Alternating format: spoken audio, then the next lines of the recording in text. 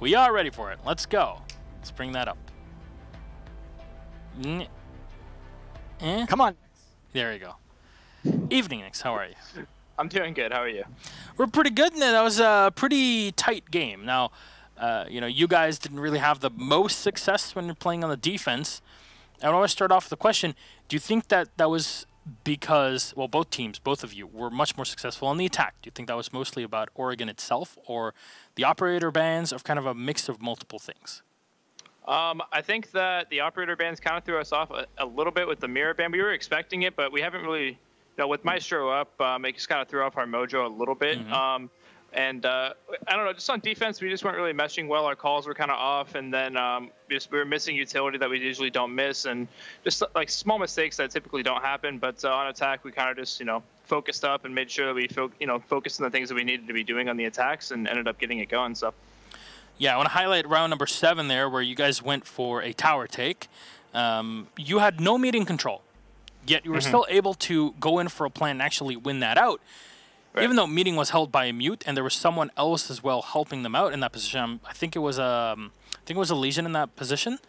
Mm-hmm. They dropped in. They actually got a ton of kills, but it was still not enough. How was how are things being relayed between you guys? Because it kind of got a bit too hectic by construction.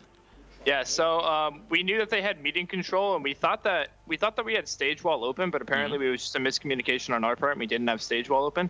Um, so Mint just ended up going really big and getting, I think it was a close like a four piece, maybe a three piece, not a three piece, sure. I believe, on the yeah. side.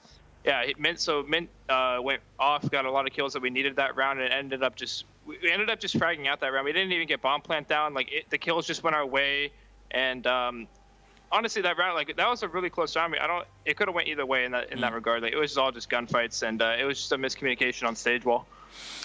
All right. Well, you know, you guys. I, I highlighted this when actually talking to Emzo. Um, when you guys were attacking laundry, there was a specific thing that would happen. Is that you would be able to burn out utility very easily, but mm-hmm. also push up the blitz in a way where the entirety of the defense is so distracted by the blitz is always somebody dropping from meeting hall hatch or moving through tower. I wasn't exactly seeing where right. that was coming from, right. but how are you able to do that and really being allowed to do it time and time again? Because it, it seems like within the whole chaos of the moment, that was the perfect maneuver to execute. Yeah, Blitz is just an operator that allows us to make plays like that. So when you clear out all their sight vision and then we and you just throw smokes in the sight and and you have a Blitz that's just right in your face, like they're kind of freaking out. They're like they don't know we like I don't know if they're planning. I don't know if they're just faking. I don't know like what this Blitz is just in my face and Mint's just making you know Mint's just there to bother him and stuff like that. So like once they have no vision, no info like that, they're just gonna end up throwing utility and and panicking. So we push that into our favor and you know um, ended up getting rounds like that. So a lot of the time um, Mint drops hatches with blitz or puts uh, pushes aggro, but sometimes you know he could also do the, like play really passive and play on those stairs and put pressure that way. So the teams really don't know what we're gonna do. Yeah, and the, the jackal drop from the back was definitely something to just kind of clean the whole thing up. It's very oppressive um, dealing with blitz, that's for sure. Right. Um, at this point, anything you'd like to say to the fans that are watching the game and your victory today against uh, EXG?